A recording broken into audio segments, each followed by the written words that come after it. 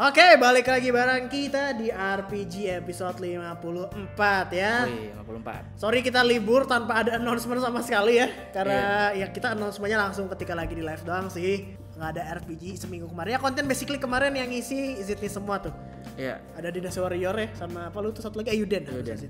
Dan sebenarnya dua minggu jadinya malah yang nambah pemainnya lebih banyak ya sebenarnya. ya. Tapi yang di live bilang pada Ya, tapi ternyata cuma sedikit. oh sedikit. Sedikit. Ya, Ya, ya 50 sih sebetulnya. Cuman most likely eh most likely. Most of them Hmm. itu ngejawabnya yang ngejawab si uh, topik kita. PC konsol topik ya? kita iya, topik kita. Nih teman-teman, kalau yang mau ikutan RPG, jangan jawab yang ada di judul di bawah ini. Jangan. Ya, jangan, karena nggak akan kita bacain. Kalau kalian mau ikutan konten RPG, kalian jawab pertanyaan yang ada di akhir video. Itu yang akan kita bacain untuk minggu depan. Nah, yang ikutan itu bakal ada best answer dan bakal dapat hadiah ya Rule ya. 12 ribu Steam Wallet kecil balik memang, lagi ya. ya kecil memang cuman ya lumayan aja lah guys ya kita cuma bisa ngasih gitu dan kita pengen appreciate aja buat kalian yang memang sudah effort untuk cerita di kolom Ketik, komentar ketik, di bawah Betul sekali ya.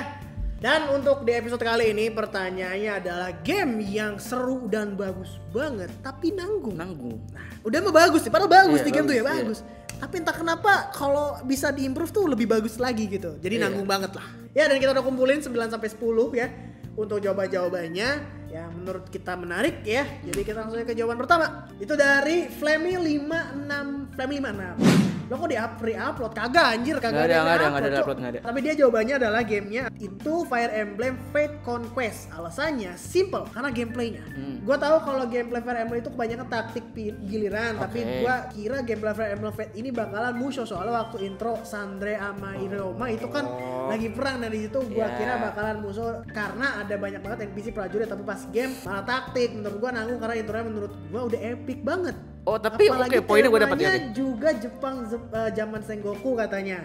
Yang mana kalau dari lihat dari ini ada Basara sama Warrior yang storynya menurut gue juga bisa katanya di main story itu. Dan juga endingnya buat gue eh, banyak dan itu gue semua belum kebuka katanya endingnya. Hmm. Tapi dia langsung dapat happy ending yang kerajaan itu damai katanya. Hmm. Menurut gue Fire Emblem lebih cocok dijadiin game musuh daripada taktik game konsep kerajaan yang dibawa di game ini. Gue udah Oh. mainin game Fire Emblem Warriors yang versi 3DS tapi gua maininnya nggak sampai tamat karena pengen ngumpulin duit dulu buat beli Nintendo Switch katanya. Jadi dia uh, iniin si Fire Emblem tuh ngiranya musuh awalnya. Nah, tapi respectnya adalah dia tamatin Fire Iya, Emblem iya, Fate-nya. yang Fate-nya, iya, iya. iya, betul, betul, Karena betul. awalnya kan dia ngeliat dari trailernya dulu kan. Wih, musuh nih. Bakti bu gitu Akhirnya dia ya. download gamenya, dia mainin. Aduh kok taktik, tapi dia mainin sampai habis. Sampai dapat happy ending lagi katanya Iya, sampai kelar. Iya, Itu iya, yang iya. gue respect. Respectnya di situ. Nah, kalau kalian nyari yang musuh, Fire Emblem ada. Three Houses gak sih kalau salah? Eh, Fire Three Emblem Hopes. Three Hopes, Three Hopes. sama Fire Emblem Warriors. Warriors, Udah itu betul. dua. Kalau kalian pikir Fire Emblem lebih cocok lebih cocok game Warriors, mah nggak mainin yang itu. Ada sebetulnya. Dan kalian bisa nilai apakah Fire Emblem sebenarnya cocok apa tidak jadi game musuh. Kalau buat gua tidak sama sekali. Kalau dijadikan game action adventure, tipikal Enggak. Grand Blue Fantasy Reeling. Enggak, enggak cocok. Enggak juga. Lebih cocok itu kayak ini apa kemarin tuh game strategi baru Unicorn Overlord. Sumpah, lebih cocok kayak gitu. Huh, lebih cocok kayak gitu. Iya, RTS gitu loh, real time strategi. Dulu kan Fire Emblem ganti-gantian banget kan kalau jadiin RTS mungkin lebih face pacingnya bagus jadinya. Ya kita ngerti lah jawabannya, thank you tapi ya Flame. Ya berarti ini nanggungnya itu karena ekspektasi ya, Ekspektasi. ekspektasi yang salah gitu ya. Lanjut. Oke, lanjut jawaban kedua itu ada dari Ida Bagus Hero Bagaskara Baskara. Oke. Game bagus tapi yang buat gue adalah EA Sport Ah. FC 2024 katanya. Alasannya ya mungkin karena gue maniak game bola juga ya. Gue ada love hate relationship sama game-game EA satu ini.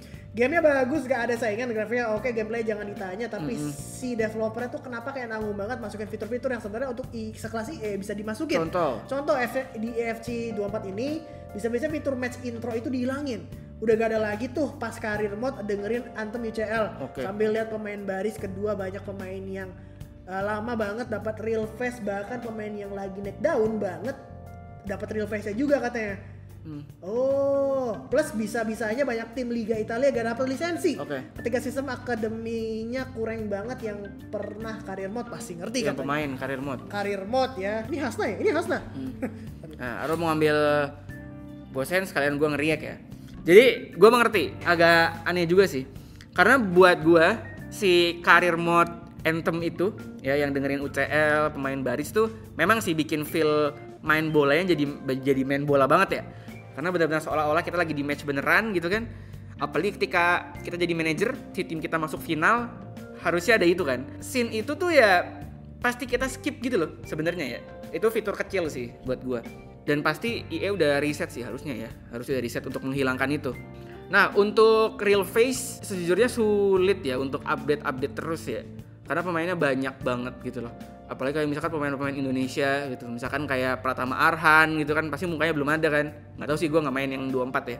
Terus masalah lisensi rebutan soalnya sih. Kan kalau lisensi tuh sama PES juga sama game-game bola lain juga. Jadi tetap harus ada yang dikorbankan sih karena lisensi aja itu udah gede banget sebenarnya. Wajar aja ya sebetulnya Wajar ya. aja. maksudnya kalau lisensi Budgetnya. ya mereka juga nggak bisa semudah itulah ngasih lisensi kan Iya. maksudnya kan. Ya orang mereka ngambil lisensi UCL aja setengah mampus. Iya kan makanya. Nunggu nunggu PES kontraknya habis dulu kan baru bisa ngambil UCL itu. Kalau lu setuju tapi nanggung untuk game ini? Hmm. kehitungnya atau ya udah aja? Kalau gua ya udah aja ya udah aja untuk si EFC ya. Oke, kita lanjut ya. Itu dari Pinpo 570 katanya Grand Blue Fantasy Relay. Setuju gua. nah kan game yang bagusnya di late game. Ya mirip mirip sama MH series.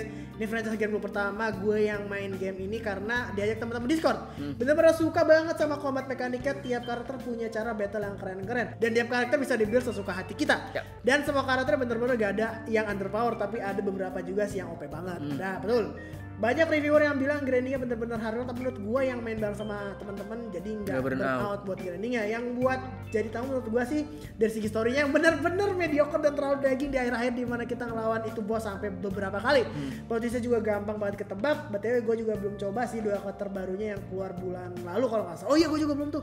Dah sih segitu aja dari gue dan gue setuju. Iya. ya gue memberikan game ini tuh kalau nggak salah 8 kalau Iya. di review gue 8 apa 9 lah. Ya tapi di situ lo plusnya adalah eh, story salah satu plusnya kalau itu di masih gue masukin uh, plus karena in my opinion Hmm. story-nya buat gue oke untuk dimengerti oleh orang-orang. Cuma yang memang belum pernah main Grand Blue Series ya cuman emang again sama story-nya tuh yang bikin kurang nanggungnya di situ juga gue Iya. setuju.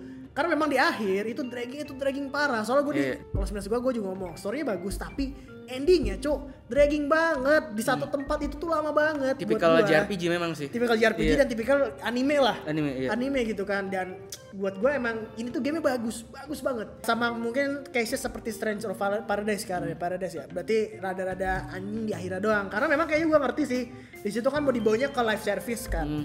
jadi mungkin ceritanya akan ditambah lagi lagi lagi setelah itu mungkin ya Iya. Tapi kalau gua ya, yang bikin gua paling nggak sukanya setelah gua nyobain hands on itu ya, yang paling gua nggak suka dari Grand Blue itu bukan dari cerita sebenarnya. Cerita mah ya udahlah mungkin ya. combat Combat nggak masalah, nggak masalah party-party juga nggak masalah. Oke. Misi. Gua merasa game ini hanya kumpulan misi-misi. oh iya misi, iya misi, iya misi, iya, misi, iya, misi, misi iya. dijalanin, misi dijalanin, misi dijalanin, misi dijalanin. Jadi tanpa adanya uh, transisi ke apa ya? ke story-nya gitu. Jadi nggak nggak seamless gitu loh. ah oke Jadi kayak oke. misi baru nih, set, play. Misi baru nih, play. Eh, misalkan kita contohin kayak F16 deh. Boleh. Lagi ya, again. Itu kan ada transisi antar misi ke misinya kan. Iya iya iya iya. iya. Nah ini nggak ada gitu, patah aja buat gue sih. Itu aja, hanya kumpulan misi-misi kalau buat gue. Mhm. Ya karena lu nggak main full lah ya maksudnya ya. Kalau tapi itu bisa gue bantah nggak sepatah itu sebetulnya. Mm. Karena memang dari setiap untuk story utamanya sendiri sih nyambung nih Iya. kesenambungan. Cuman yang memang bednya adalah yaitu masuknya jadinya kita aerial aerial mission lah. Area. Area area mission Iya, gitu itu dia. kan. Jadi misi masuk area, misi masuk area, tidak ada Cuman ya itu yang lu nggak tahu Progress. adalah si progresnya tuh ya dari satu tempat ke satu tempat itu masih make sense dari cerita Hmm, sebetulnya. hmm. Jadi mungkin itu yang harus lu taunya lah Iya. dari gua. Jadi ya memang patah patah tapi nggak sepatah itulah. Iya iya iya. Itu kalau gua yang bikin off pertama kali gak pengen lanjutin Grand Blue udah dari situ sih. Hmm, oke. Oh ini tipikal game kayak game apalah gitu loh. Iya, iya, iya, betul, Kayaknya betul, enggak. betul. Eh kayak Trail of Mana itu juga patah tuh lumayan. Men, Versi oh mending Trail of mana ya berarti? Ya kalau gua Trail of Mana kayaknya lebih. Oke, lanjut jawaban dari awal 56252. Mohon maaf sebelumnya katanya. Hmm. Ini pendapat gue pribadi aja guys ya. Menurut gue game yang bagus tapi namu adalah Zelda BOTW. Oke, ya, menga- Ceritanya menarik, menarik, Hmm. bagus, gameplaynya seru, banyak puzzle, mapnya luas keren dah. Pokoknya abang-abang di player 2 kayak Kenapa? ya namu adalah dari segi mapnya yang kosong dan luas. Ya. Oke. Ya, ya, ya, Main di awal kita ada cutscene dikit tuh yang dari tebing ngeliatin luasnya BOTW. Bener. Bener pemandangannya bukan. Tapi ternyata aslinya mapnya kosong dan luas luas doang katanya. Untuk berpergian ke sana ke sini kita jalan kaki atau maksimal pakai kuda. Mm-mm. Mana mapnya BOTW banyak tebing-tebing itu kuda kan nggak bisa manjat ya harus Mm. dikasih vehi- vehicle yang manjat lah. Harusnya bisa lah ya. Karena kekurangan tersebut eh, Nippondo menutupinya dengan fitur travel dari satu tower ke tower lainnya Iya. agar playernya akhirnya plannya dah lah langsung aja travel ke situ. Apalagi ada lagi sih tapi takut kepanjangan. Sekian terima kasih. Gaji dan THR oh terima gaji dan THR katanya. Oke oke. Tapi yang dia komplainin ada dari mapnya yang luas. Mana ya ternyata dari map yang luas adalah sebuah komplain ya? Map bukan luasnya, luas dan kosong. kosong. Iya luas dan kosong sih sebetulnya. Cuman Iya. kalau luasan doang sih kalau kata gua ya udah aja sih. Kalau kosongnya iya memang bermasalah. Eh, ya nggak sih? sebenarnya kosong ya itu dia. Sempat gue obrolin kemarin di live juga ya kalian tuh nggak apa-apa nggak sih sama game open world gitu loh?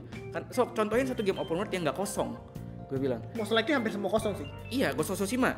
Ya kosong kosong aja RDR kosong kosong aja sebenarnya. Kosong susahnya menang ke arah keindahannya doang. Iya. jadinya seru gitu. Jadinya seru. explore-nya. ya mungkin kalau gue bisa contohkan ya The Witcher yang nggak kosong sebenarnya. Betul The Witcher. betul. dan Horizon Zero Dawn gue suka banget tapi buat gue juga kosong tetap aja. Assassin deh, game-game Assassin itu kan. Wah, apalagi. Itu itu Tapi kan rame. Syndicate iya ramenya aja.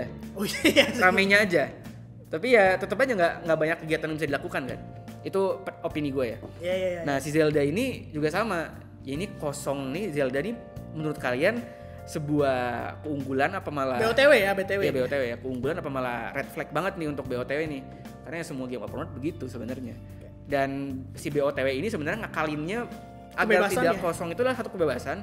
Yang kedua adalah banyak hal yang memang bisa di apa ya diambil di craft di explore tapi memang eksplisit aja gitu Nah, kayak misalkan eksplisit apa implisit ya kalau misalkan tidak kelihatan iya implisit berarti. implisit Implisit ya ya. implisit kayak misalkan korok nggak bisa kalian temuin di icon tuh nggak ada jadi, kelihatannya istilahnya kayak emang kosong ya lu harus punya dedikasi yang tinggi Iya, gitu untuk, untuk explore. mencari gitu.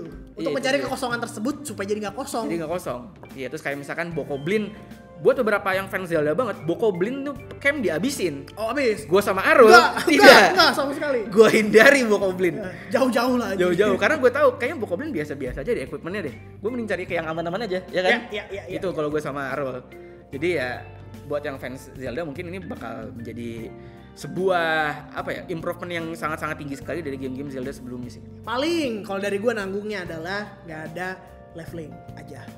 Oh gue setuju malah nggak ada leveling. Harus nggak ada leveling Jadi Kalau maksudnya nggak kerasa aja jadi kayak lu percuma. Makanya kan kita berdua menghindari bokoblin. Mm-mm. Kalau ada leveling lu pasti jarang bokoblin. kalau itu ya Iya kan? Kalau Mungkin kalau ada leveling kita bakal lebih suka lagi explore. Jadi menurut gua kalau nanggungnya di sini adalah sini leveling tersebut. Hmm. Yang mana ya kita dapat nyawa kita kan stats kita tuh based on senjata yang kita dapatkan plus Bukan. berapanya dan juga nyawa itu kan ya dari bukan nyawanya kalau senjata. Iya, Kalau nyawa senjata salah. plus senjata berapa? Kalau nyawa kan lu dari shrine lah. Orang-orang beda-beda lah ya. Mm-mm. Buat Ya, gua makanya gitu lah. mereka itu Zelda itu instead of jadiin leveling mereka bikinnya itu inventory management Betul inventory management. Iya, yang mana senjata bisa rusak itu Bisa pun hancur gitu buat kan. gua itu awalnya kekurangan senjata rusak gitu kan. Really senjata rusak? Are you fucking serious man? Iya, awalnya gua gitu. Cuman ya akhirnya mengerti esensinya juga memang setelah dimainin gitu. Lanjut kita ke jawaban kita berdua dulu dari gua dulu Boleh kira-kira. deh, boleh deh. Silakan. Kalau gua tadi udah sempat se- disebut sama Arul Final Fantasy Stranger of Paradise ya. Kenapa ini nanggung? Satu, ini tuh mengambil cerita dari The Legend of the Legend of the Legend Final Fantasy 1 Ternyata ya. eh, Final memang iya, Fantasy iya, 1. memang iya, iya, Mm-mm. iya. Ngambil kisahnya Final Fantasy 1. Nenek moyangnya Final Fantasy nih ya. Final Fantasy 1. ya. Besar loh. nih. Besar loh yang dia ambil ceritanya loh. Iya, yang kedua, dia mengambil genre yang orang-orang tuh lagi banyak suka. Souls-like. Betul. Orang-orang lagi banyak suka. Tiap ada game Souls-like baru tuh orang-orang main, orang-orang main, orang-orang main. Era-era sebelum Elden Ring lah itu kan sebenarnya gamenya. Lagi Dark Souls 3 mungkin ya harusnya. Iya. Uh, potensial sekali pertama kali di announce gitu ya. Gue udah ngebayangin Warriors of Light eh, ngelawan Marlboro, ngelawan Tonberry itu ke Souls like gitu loh. Kebayang gitu, gue kebayang, oh keren banget. Yang disediakan itu adalah karakternya Jack. Oke, ini mungkin karakter baru.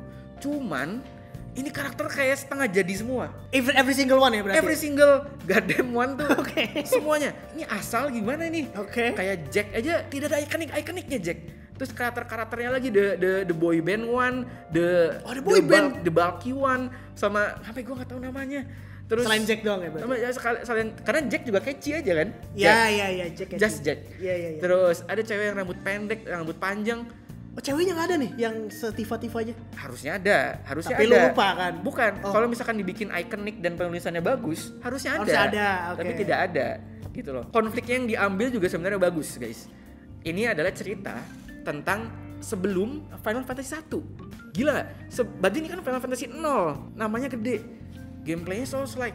oh pertama kali gue nyobain gameplaynya oh gila ini adalah souls like yang bisa gue makan karena tetap lu bisa bug big bug bug big bug bug big bug tapi memang susah. Memang damage musuhnya gede-gede banget gitu loh. Dan dungeonnya tipikal souls like Oke. gameplaynya seru abis. Iya, iya, grindingnya seru abis Gue juga masuk tuh ya berarti ya harusnya. masuk terus clash clashnya juga seru banget tapi cerita aja kayak what the hell apa cerita tentang apa sih sebenarnya gitu Oke, oke, oke, oke. di akhir lu mengerti tapi the whole game itu ngapain karena sebenarnya kesimpulannya hanya di akhir saja tidak memperkuat hal-hal yang ada di Oh, sebelumnya Build up-nya tuh nggak ke endingnya tuh jelek loh berarti build up. jelek tapi endingnya bagus Endingnya bagus. Aneh nggak? Build up-nya jelek, Jelek, endingnya bagus. endingnya bagus Oke. kenapa karena endingnya masuk ke Final Fantasy 1 Oh. jadi abis ending itu Final Fantasy 1 pas, cocok pas banget, cocok, cocok. Oke, oke. gitu oke. itulah kenapa Final Fantasy Stranger of Paradise ya buat lo ya Zid berarti jauh. udah banyak banget nih game Final Fantasy yang masuk nanggung nih emang nanggung semua sih Kecuali apa? 10 mungkin ya? 10 mah aman lah ya. 10 aman. 7 ribet, remake juga aman segitu. supaya 10 ada red flagnya juga sih gara-gara ngeluarin seri keduanya Kita ke jawaban selanjutnya itu dari Albert Albert Sebastian. Game baru sampai nanggung itu Coral Island. Wah, game Indo nih. Ah, Apa oke. nih? gimana Ini game farming simulator buatan lokal yang bagus banget, setuju. Nungguin dari Kickstarter sampai benar-benar full release, begitu main saat full release, kagum banget sama kualitas gamenya, terutama kualitas grafik dan fitur-fiturnya yang lengkap. benar benar benar Sampai-sampai ngajak teman kantor buat ikut main juga. Tapi setelah jauh mainnya ternyata ceritanya belum lengkap dan banyak event-event yang belum sempurna padahal sudah full release. Jadi nanggung banget mainnya sekarang di hold dulu. Nah, main nanti setelah update gede-gedean. Oh, Oke. gua- gua mengerti, iya. Ya, it's still a good game for him. Hmm. Cuman karena nanggungnya memang ya literally developernya nanggung belum kelar gitu kan. Nah, juga. itu juga yang gue mengerti kenapa after si Coral Island release itu kayak apa ya? Ini kan game farming yang deserve untuk bisa diomongin terus-terusan. Kayak Harvest Moon atau apa ini deserve nih Stardew Valley. Stardew Valley, betul. Kirain gue akan sekelas itu. Setelah perilisan tuh nggak ada lagi yang ngebahas iya, lagi iya, gitu. iya, iya juga sih, iya juga. kan? Gua gua ngikutin satu VTuber doang yang for some reason dia mainin Coral Island cukup eh, lama dan cukup udah jauh juga pro- progres dia. VTuber luar sih. Cuma selain dari dia, nggak ada lagi sih sebetulnya. Kalau gue ada kenal apa bukan kenal sih, maksudnya ngikutin youtuber Nintendo Switch yang Ah. memang biasanya main game-game farm dan dia main game itu juga. Coral juga. Coral 2 walaupun dari Nintendo Switch ya. Dan udah dia berhenti gitu loh, nggak dilanjutin lagi, nggak nggak ada kayak end gitu nggak ada. Iya. Biasanya Karena dia memang ya kontennya habis ternyata. habis ternyata. Ah. Belum kelar bukan habis ya, belum kelar. Kita kita belum pernah main sampai full ya. Ya, kita cuman bener-bener main di itu juga kayaknya demo ya, harusnya demo, ya, demo ya belum. Dan akhirnya kita tahu kenapa gitu ya. Ya cuman bagus sih, bagus banget cuy untuk banget. segame game lokal. Art style-nya itu loh. itu itu unik banget sih unik Bagus banget. ya sayang sekali ya berarti tinggal ditunggu aja sih buat Albert ya untuk si gamenya full release yang beneran rilis dengan update update gede-gedeannya oke lanjut itu dari Souls 3 Souls S467 game bagus tapi apalagi kalau bukan Final Fantasy 16 Itu pun kita gedek ya sebenarnya, tapi Iya. kita diwakilkan oleh 3 aja gimana? Gue punya love hate sama game ini. Gue suka sebetulnya karakter di karakter desain dunia, VA Jepang yang story ya sebetulnya story ala FF lawan entitas dewa tapi cukup oke lah apalagi pemeringkan sebelum FF 15. dan musiknya, gue jatuh cinta sama musiknya dari saat pertama kali nonton trailer dan jadi top play Spotify gue terutama Wow. di endingnya kayak Sionesu betul. Iya. Band musik buat gue tahun 2023 kalau ditanya nanggungnya di mana, gue akan tulis cukup panjang. Oke, Siap. cukup panjang. Combat, gue berekspektasi berekspektasi kalau combatnya akan sekompleks DMC karena mereka bawa combat director DMC 5 ternyata tidak. Terlalu simpel gak ada sistem elemental juga nggak buat fightnya jadi jadi nggak menantang. Selain lo men-challenge diri lo sendiri dari nol damage tiap fight. Sistem rarity weapon dan armor juga absurd. Ditambah lagi udah mah absurd gak ada sistem efek yang mereka masukin ke weaponnya. Jadi di sini lo make weapon yang gede aja damage nya udah gitu loh Iya. eksplorasi juga nggak menarik nggak rewarding tambah lagi lelet lelet lagi katanya Tak sampai update DLC 1 kemarin ternyata masih nggak bisa tuh toggle analog buat lari. Red Chocobo juga pakai ada cutscene dan Chocobo juga nggak guna sebetulnya karena dunia kecil. Wah, Lo iya, setuju sekali. Itu buat naik Chocobo. Buang waktu buat nonton cutscene riding doang. Side questnya cukup bagus buat ngenalin karakter-karakter dalam gamenya sebetulnya. Cuman flow-nya itu ganggu banget. Mm. Eh, lagi genting mau ke main story tiba-tiba ada set quest muncul. Udah gitu di, di eksekusinya juga eh, Iya, macam MMORPG macam katanya. F14. Cerita yang gore dan galak di awal tapi melempem di akhir semua jadi berasa kayak nonton anime dan power of friendship. Bener, Square bener, Enix terlalu main aman menurut gua dengan gak memasukkan semua unsur RPG yang mereka punya. Sayang banget FF16. Iya. Yes, itu yang ada di pikiran kita semua sudah eh, dikasih Sudah. tahu sama Souls 3 yang mana kita semuanya setuju. Iya. Ya, memang FF16 ini Square Enix bener-bener main seaman itu aja. Aman. Tapi berhasil. berhasil karena ngambil player-player muda jadi masuk ke, Masuk ke dunia fan- Final final, Fantasy. fantasinya betul seperti review gue juga gamenya ini bagus aja udah karena musik bener-bener nge-carry ini game sih sebetulnya Nge-carry, carry, carry game. musik dan juga cutscene ikonnya wah itu nge-carry the whole fucking game buat gue cuman again kalau kita lihat dari detail-detail yang sudah disebutkan sama Soul itu sangat-sangat lengkap combat yang bener-bener lacking banget dan bener-bener nanggung banget gitu Iya. loh karena gini, combat itu juga gue mengerti apa yang membuat akhirnya gue mengerti nih kenapa lu bilang ini combatnya ketahan apa coba nunggu nunggu nunggu, gimana skill Alright, iya Itu betul. yang bikin ketahan. betul. Tapi FF7 juga gitu, nunggu ATB bus. nah tapi FF7 tuh memang sistemnya eh enggak F7 bisa diisi ATB busnya Ada it item.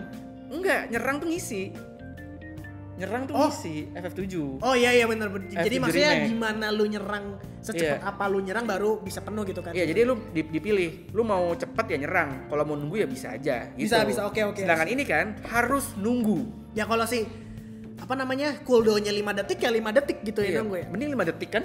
Ya Lebih kadang kan? 10 eh 30 detik gitu. Iya, ada yang 30 detik loh kan untuk yang ulti-ulti itu. Ya, betul. Tapi itu nunggunya kan agak-agak kayak kita udah ngeluarin semua skill kita tuh. Jadi beneran si combo itu kayak cuman bisa vuk pak pak pak pak, pak gitu doang. Iya sih anjing sih itu emang di situnya. Dan kayak si apa? Ini nih ikon banyak. Ya. Leviathan, Ya. Siva, Ramu segala macam. Tapi yang gua greget segerget-gregetnya adalah kenapa combo setiap kita ganti tuh sama. Masih apa? Iprit. Iprit, iprit, Iprit dan Pinik. aja terus gitu. iya, bosen. Sampai jujur ya, ini sih mem- memang sebuah hot text aja. Buat gue, gue sebel pakai Ifrit terus sih. Oh, lu sebel pakai iprit Iya. terus ya. Kayaknya tuh harus ada momen di kan ada momen di mana Jill jadi Shiva kan ngelawan monster something lah di yang di lava-lava itu. Iya iya iya iya. Pakai Jill. Iya, cu. Meng, meng- apa ya?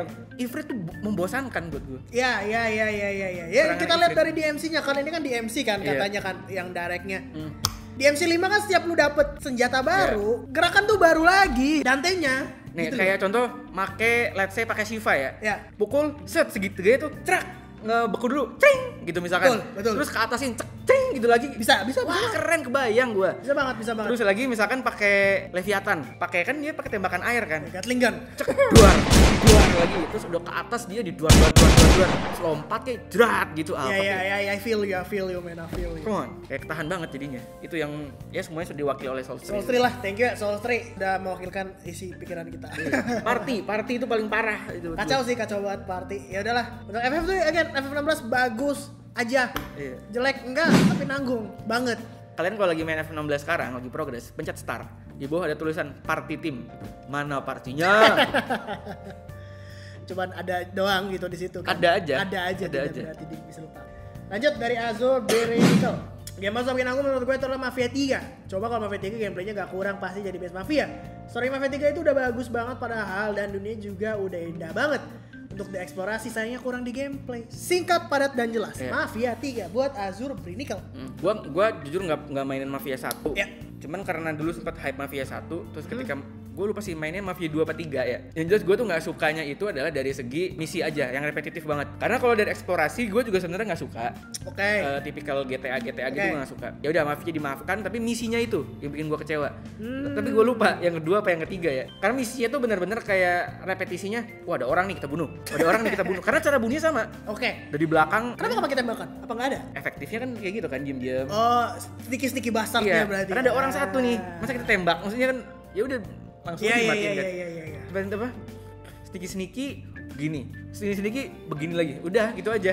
Misinya beneran ngulang-ulang aja. Menurut lu sih, tapi nggak tahu dua apa tiga ya berarti. Lupa ya? dua apa tiga. Kayak teman-teman ngerti sih maksud gue sih dua apa tiga. Kayaknya harusnya dua, harusnya dua. Kalau gue gak bisa komentar banyak karena memang gue nggak pernah main game Mafia mana pun. Gue baru tau Mafia itu ya setelah join player 2 dan ada temen gue yang main Mafia ini. Gue kira awalnya Mafia adalah Hitman, tapi ternyata game yang berbeda. jadi gue gak pernah bisa main, jadi gue gak bisa komentar banyak ya. Lanjut dari Nuts. Game bagus tapi nanggung menurut gue adalah Story of Season Pioneer of Olive Town ya. Sebenarnya gameplaynya pak uh, asik khas Story of Season atau Harvest Moon. Grafiknya bagus, kustomisasi jenis-jenis kendaranya juga dan menu-menunya juga cot dan cookingnya juga bagus katanya. Cookingnya. Uh, tapi kerasa kurang dan bahkan hampa karena alasannya uh, mapnya terlalu sempit dan ada cuman ada farm sama townnya doang yang gitu-gitu aja seandainya bisa explore ke hutan gunung dan lain-lain pasti lebih bagus penduduk kota sedikit dan pilihan karakter yang bisa dinikahi juga sedikit. Real Story of Season sebelumnya gue tahan sampai main ratusan jam. Oke. Sayangnya banget, sayang banget bukannya upgrade dengan versi yang lebih luas, Marvelous malah nge-remake si Wonderful Life yang malah dari segi gameplay bagus downgrade dari versi. PS2 iya. nya. Itu mah berak sih yang itu. Tapi Fear of Olifton ya, gue saking lupanya juga dengan game ini tuh, iya sih, gak tidak se-explorable itu sih buat game ini ya. Iya, Dan karena kelihatan banget di farmnya doang dan ya setelah dari farm tuh ya tahunnya tuh cuman udah. Ya paling ada tiga apa empat daerah lah yang bisa lu Iya.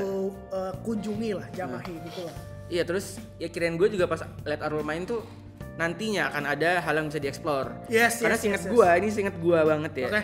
Correct me aja. Di intro tuh dikasih Vespa. Intro itu pakai Vespa. Iya ya, iya Vespa ya ada Seinget ya. gue malah milih milih warna Vespa. Oke Nah, oke oke. Ya kan? Iya iya. Di pikiran gue, wah ini explorable sekali. Pakai Vespa gitu kan.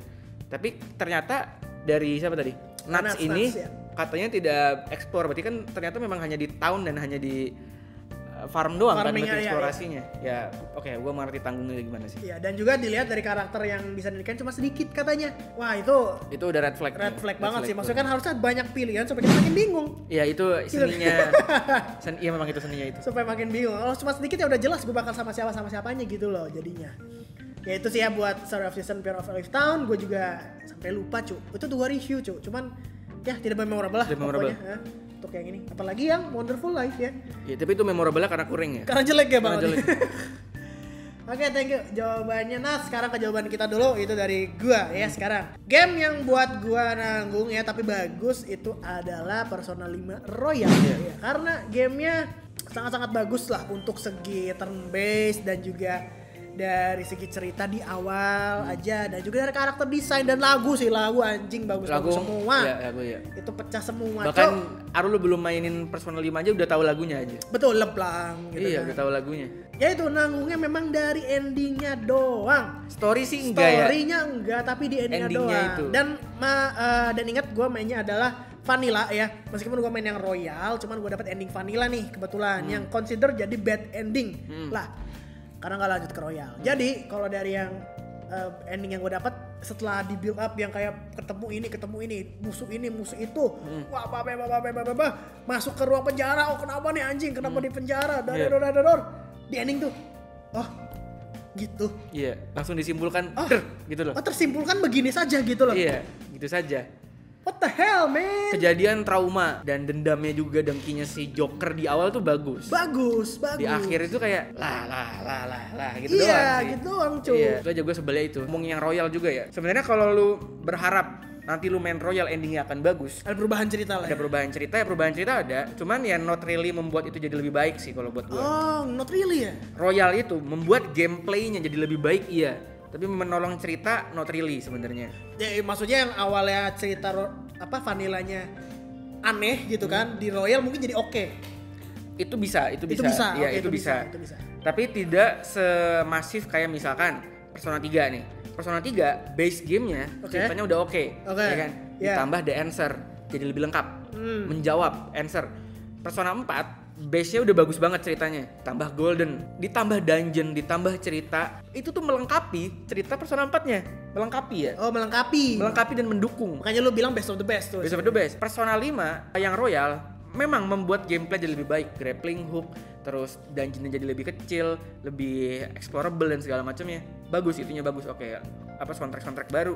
Jadi P5 Royal itu ceritanya tuh hanya menambah saja, Hmm, oke. bukan melengkapi story yang originalnya. Jadi sebenarnya kayak nggak ada juga sebenarnya nggak apa-apa gitu. Berarti ada kemungkinan setelah gua beresin Persona 3 Reload, gua akan bertanya-tanya gitu sama ending. P5 Royal kali. Nggak, kalau ke reload, Oh. P3 reload, gue akan bertanya-tanya nih sama ending sebelum nanti. Maksud di Aegis harusnya jelasin dong, the Iya. answer kan. Hmm, hmm, hmm. Jadi ending Persona 3 reload nanti, gue akan, wah ini kenapa nih anjing begini iya. begitu? Oh, oke. Akan dih dih dih gitu. Nutup, menyimpulkan tapi tetap lah lah lah gitu masih ada gitu. What the fuck, what the fuck Iya. gitu lah ya. Oke, oke, oke. Nah, akhirnya dilengkapi di yang ketiga. Sedangkan Royal ini, lu merasa ketemu sama Kasumi Ya. di Persona 5 original, jadi lu merasa belum selesai. ya Iya kan? sih, iya sih, Nah, iya sih. Persona 5 Royal ini memang melengkapi itu. Tapi ya, andaikan kayak di Vanilla nggak ada Kasumi, ya ini meaningless sebenarnya. Iya, iya, iya, Ya iya, kan? iya. iya. Sama Persona 5 Royal itu feelingnya kayak movie anime, yang mana biasanya tidak connect dengan cerita Ya, utamanya. betul, Let's betul. say kayak movie-nya Naruto deh. Sok movie Naruto yang terakhir doang yang connect kan. Ya One Piece juga banyak banget kan. One Piece juga. banyak banget. Naru- Naruto kayak ada yang tim Naruto-nya tuh Rock Lee, Sakura sama Naruto kan aneh banget itu kan. Tapi kan tidak connect ke cerita utama gitu yang kayak gitu, tipe Iya, kayak iya, gitu. iya, iya. Oh oke, I see, I see, I see. Ya itulah, gue juga suka, suka banget. Suka banget mungkin gak ya, karena lagi main yang tiga nih. Tiga so far gue lagi oke gila nih buat cerita Hmm. sih sebetulnya ya. Untuk yang tiga, eh, yang lima royal bagus, bagus, bagus aja. Tapi again, kalau endingnya tidak di cepet-cepet lah, Hmm. secepat itu kelarnya, ya mungkin gue akan wah oke gitu loh Ya. setidaknya. Disimpulkan secara cepat dan jadinya gue, iya apa sih anjing Ya. gitu loh jadinya. Ya itulah untuk game yang bagus tapi nanggung jawaban gue ya. Jawaban selanjutnya lanjut dari Dewa Indra. Katanya game Battle Spirit Connect Battle. Kata sebagai pengerti CG jelas ini bagus apalagi gua nonton animenya. Ditambah game digital untuk BS Oh, udah lama nggak iya. rilis. Tapi kekurangannya nanggungnya karena satu kartunya sebenarnya banyak tapi agak nanggung aja kalau cuman Rebirth dan Mirage Saga aja. Padahal mau coba deck Kamen Rider, Digimon dan Ultraman. Oh, itu ada. Dua maupun ini game multiplatform tapi cuman ada bahasa Jepang aja katanya nanggungnya di situ. Oh, ya. ya oke itu nanggung ah, parah, parah, sih, itu parah masih itu. udah multiplatform kok masih cuma bahasa Jepang, Bahasa Jepang gitu iya kan. itu udah parah banget Battle Spirit gue ngikutin gamenya sempet tapi nggak memorable sih walaupun gue suka card game ya jadi sejujurnya kita nggak bisa komentar banyak Gak sih bisa komentar banyak. Paling ya kalau kita lihat dari trailer lah ya.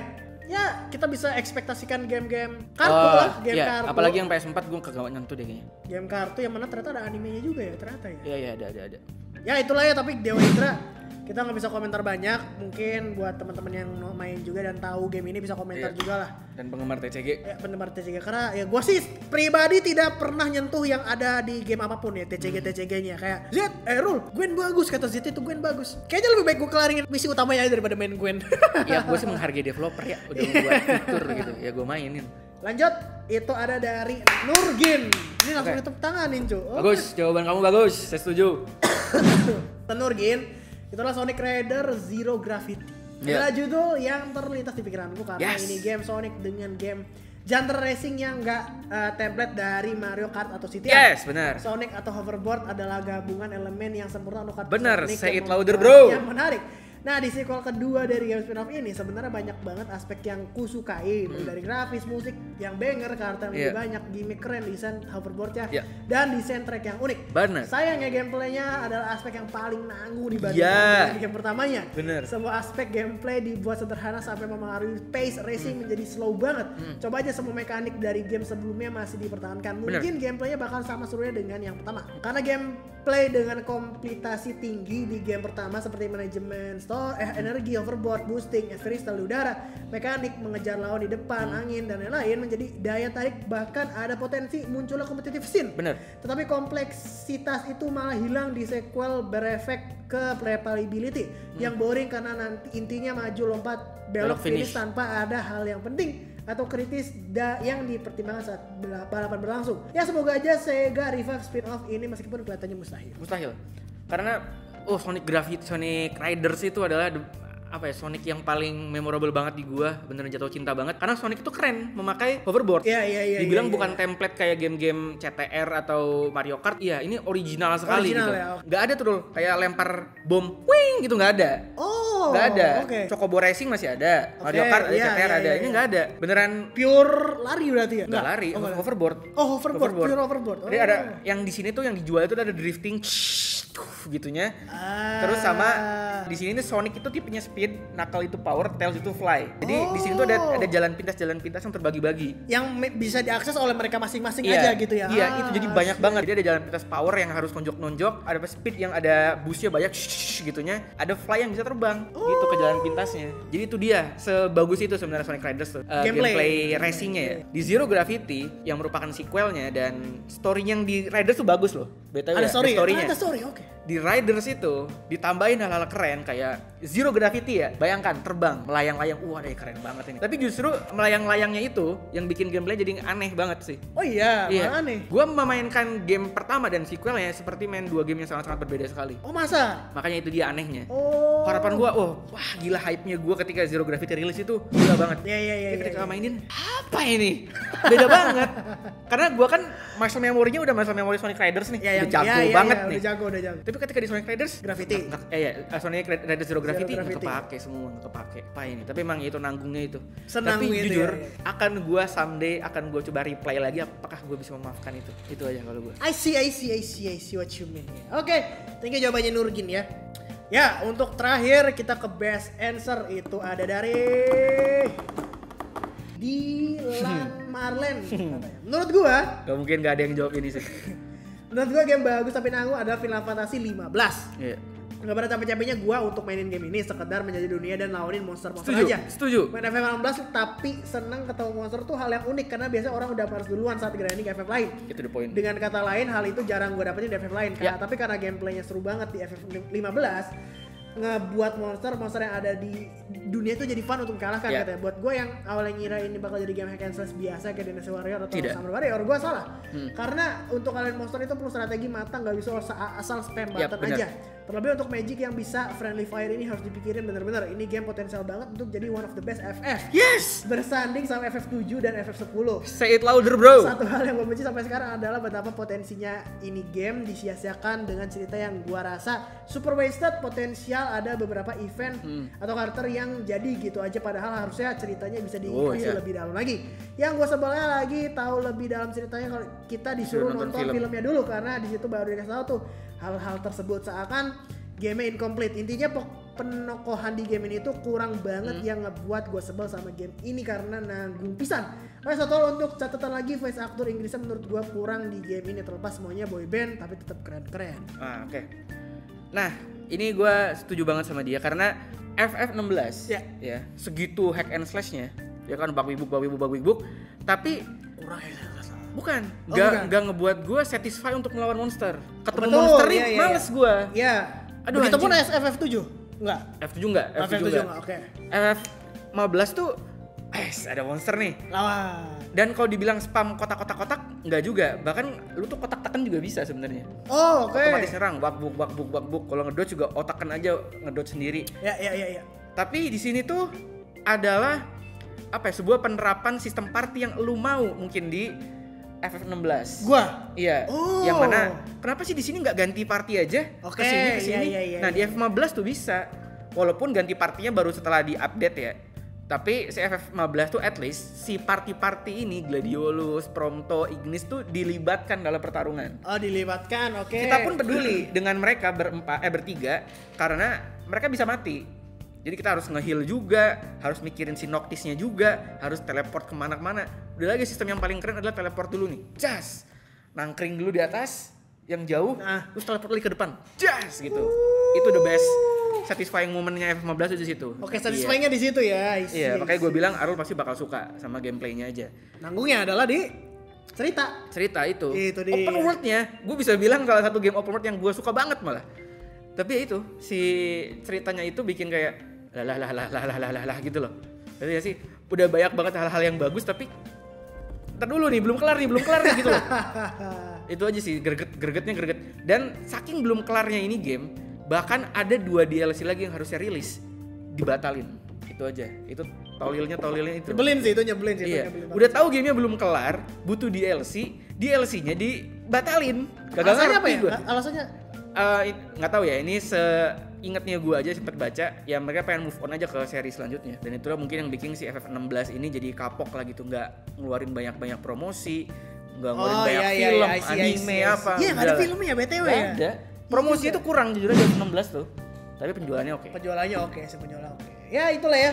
Oke, selamat untuk Mas Dilan, Dilan, ya, ya. ya, betul. Boleh diklaim kalau mau Steam Wallet 12 ribunya lumayanan. Lumayanan boleh bisa DM. ke Arul atau ke gua atau ke player 2 boleh. Sosial Di DM media semua. semuanya di link deskripsi di bawah. Ya, minta aja Bang, gue yang menang dan screenshot juga gitu aja. Betul. Segitu aja untuk RPG kali ini. Untuk RPG minggu depan, untuk selanjutnya mungkin agak kompleks pertanyaannya, yaitu adalah game yang paling menjijikan buat kalian atau momen game di game apa yang paling menjijikan buat kalian gitu. Menjijikan Iya. ya. Let's say kayak misalkan di game Resident Evil lah, ketika lagi apa apa segala macem boleh lah ceritain aja. Oh iya iya gitu, bisa bisa. momen-momennya kayak gitu. Iya, iya. Momen-momen ya, momen-momen itu ya. Itu aja untuk RPG kali ini jangan lupa di like, subscribe, share ke teman-teman. Sekian nama gue Sid Logout. Baru log out. Thank you guys.